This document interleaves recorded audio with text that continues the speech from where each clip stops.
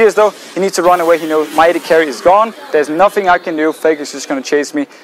And there's just one thing to say. If Fnatic leaves this champion open here for Faker, then he's going to think, you know what, Fnatic? Boom, and you are just going to die over and over. So Fnatic, please, for the sake of Europe, ban LeBlanc against Faker.